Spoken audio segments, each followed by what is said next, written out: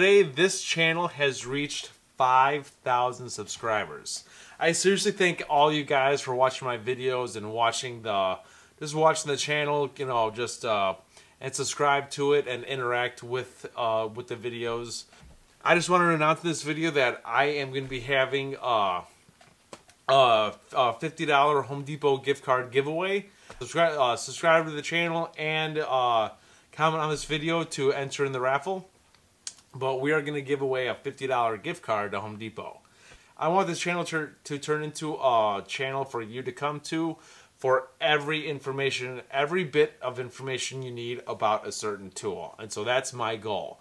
And it's gonna it, it's gonna it's gonna take a little while, but we will get there. We are gonna unbox this bad boy. Now this thing looks beefy, it looks cool, it looks awesome. It has power. Uh, I saw this uh, uh, on eBay uh, for 150 146 dollars. And that was tool only but then the because you can't really get this at my home depot stores around my area. And so they actually for the black friday sale they actually had it. This was $200 for the tool a 2 amp hour battery and a bag and a charger.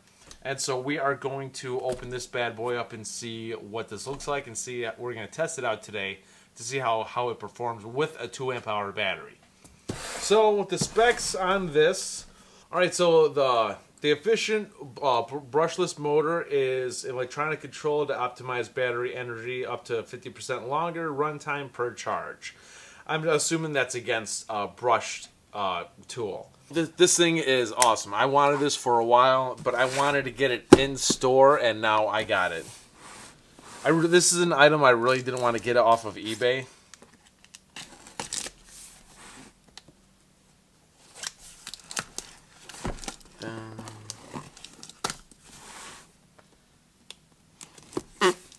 And this M12 uh, hoodie, you guys, is awesome. I'm seriously warm in this garage, as you can see my breath.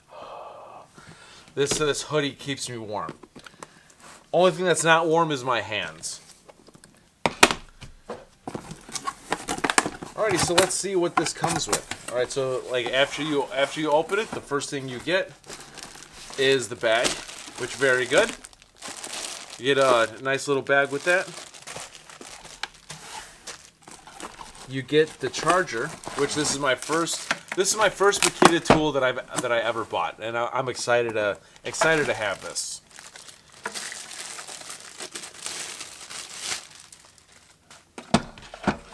And that's the charger. Let's actually zoom in a little bit.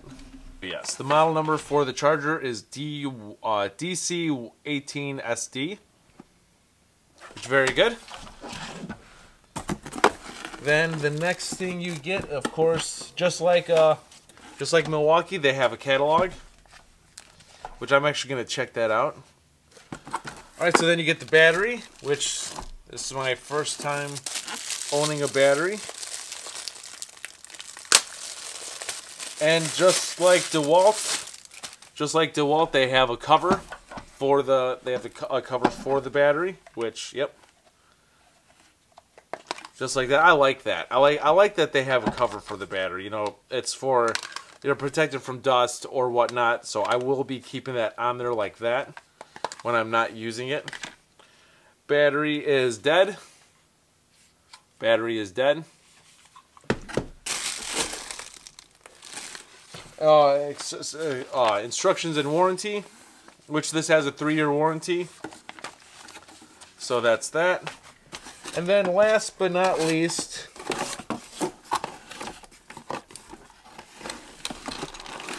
they there is the tool. All right, now I didn't expect that. I did not expect that at all. Battery might have a, a certain type of charge. All right, all right, so LED light underneath instead of on the base. Now this does have, this thing is, this thing feels good in my hand. All right, like I said in previous videos, Makita has a good grip that feels really good in my hand. All right, so let's inspect the, the half inch impact really quick. All right, and you guys know I'm a huge fan of the belt clip. So we're gonna put that on right now.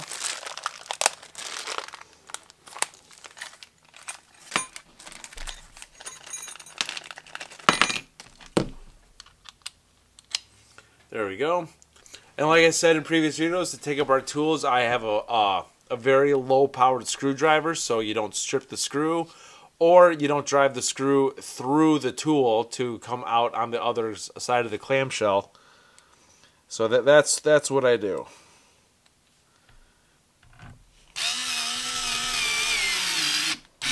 Perfect. See, I'll put a link for this in the, in the, description below. This is a perfect little tool to have to take apart tools and fix them, and which is that that's what we do in this channel. All right, so this is an interesting setup that they have, which this uh, the metal housing has a plastic housing over it to give it that shiny look. It's just a protector, but I like that look. That's a plastic clear casing around the casing itself. And the there are settings here.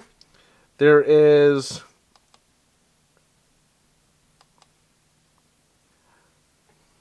screw, then low, then high. And there is a, a, battery display on right there on where your battery life is, so you don't don't have to go to the back of the tool and look, just in case if you're already looking there.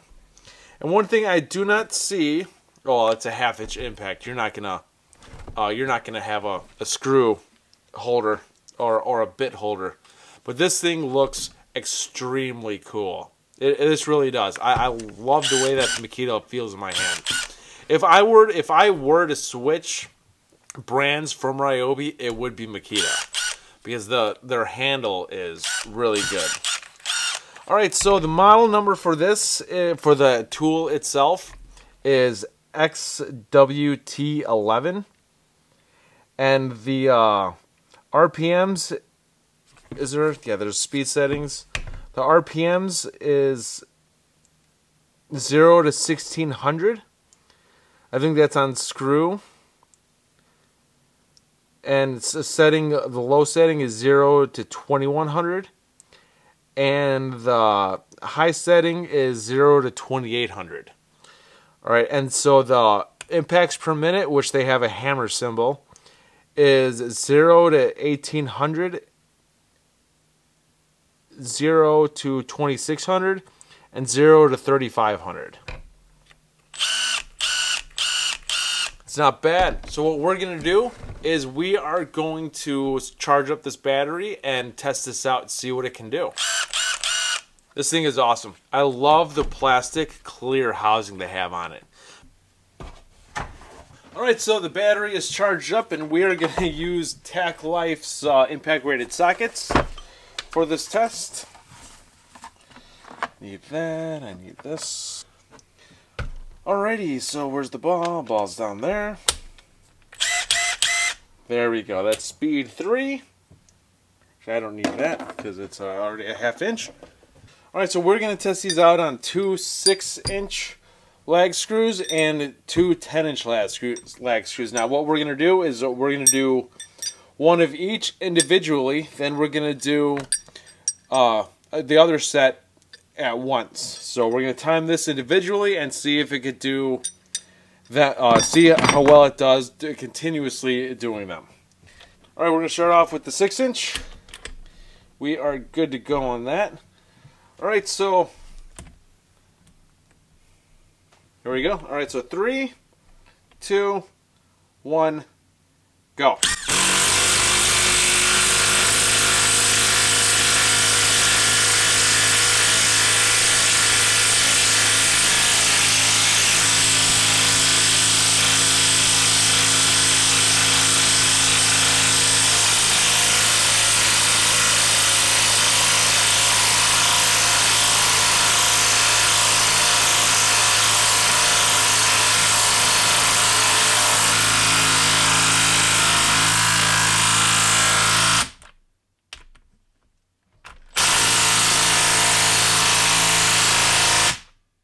There we go.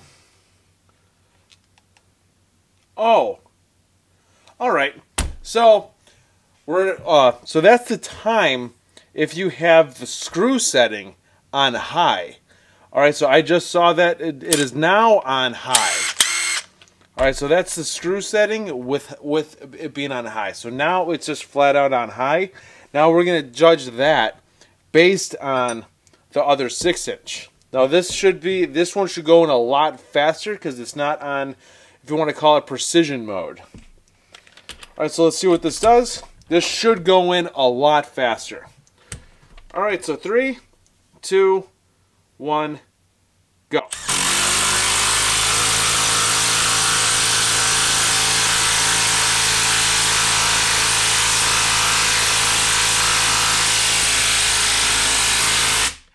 It's going in slower. Alright, so that's just flat out on high.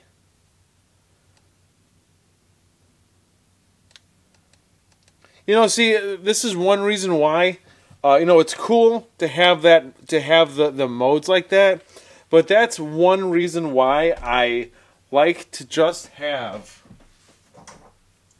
a speed setting for, like, just a switch.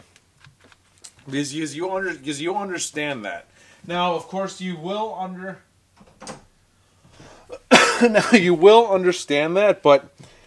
Understand this, but I think that is screw high. Or that's just high. You see, if you go here,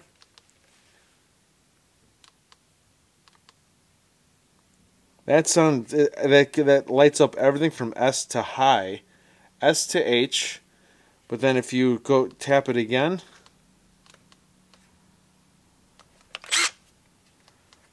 then it just the H is lit up.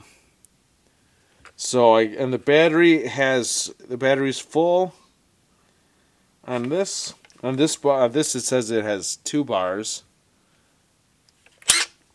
On this it says it has two bars. So let, well, let's continue. Uh, we're just gonna start the timer back again. It's, it's a tool I need to uh, you you sort of need to learn because this should like it's a half inch mid range impact. It should go through this like nothing. But we will see.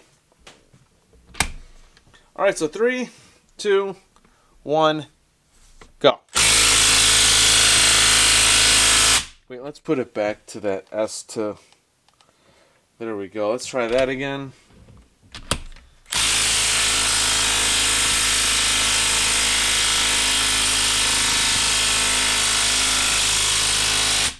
All right, so let's uh, take this out.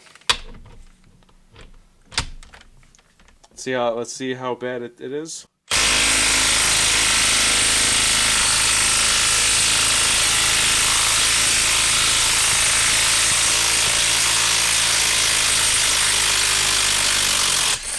Alrighty. So, right. So the light. So now the light's not on.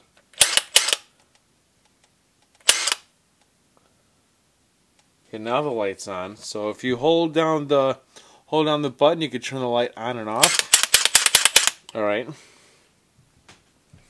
We're learning this because it because uh the settings it's cool, but it is confusing. Now remember, this is only a two amp hour battery. All right, so let's see on how it does taking this out. All right, so three, two, one, go.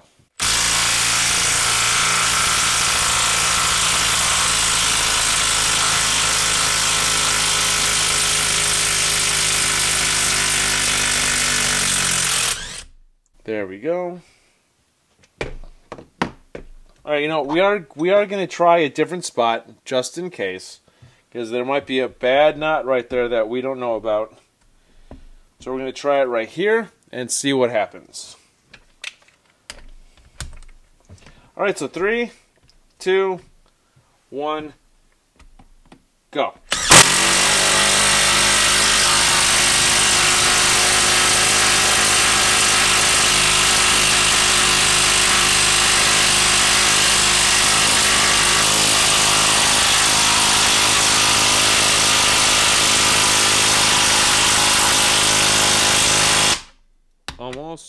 That's more like it.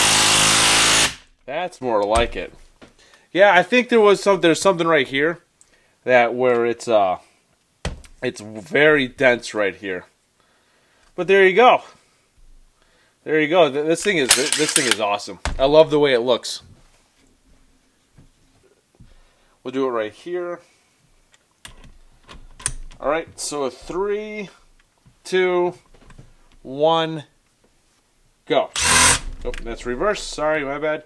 Three, two, one, go.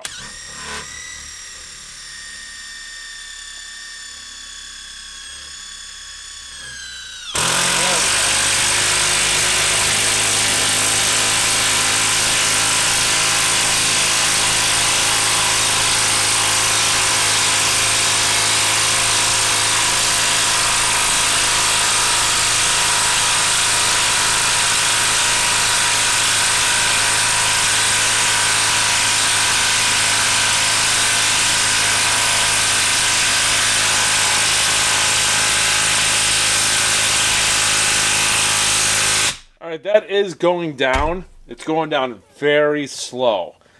Now, because of that, I want to. I, I just want to try something. So I think Makita's mid range is a lot smaller than the other brand mid mid ranges because this is the Dewalt. As you can see, there's a big size difference. I expected this to be about this size. So yeah, and as you can see, the the Ryobi because this is a mid-range impact as well, but there is a significant size difference, which uh, I, honestly it, it, it lost power. All right, so three, two, one, go.